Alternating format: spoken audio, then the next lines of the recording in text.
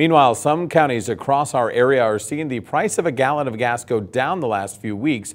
Right now, AAA is saying the average price for a gallon of unleaded is 4.74 in Taylor County. Marathon and Portage just under 4.80, with the state average at 4.81. Uh, a AAA spokesperson says prices are going down in part out of fear of a global recession and also because enough people are changing their habits.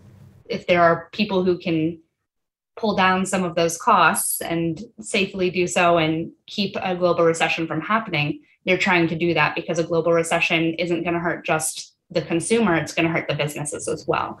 As she says prices statewide have dropped by 10 cents in the last week.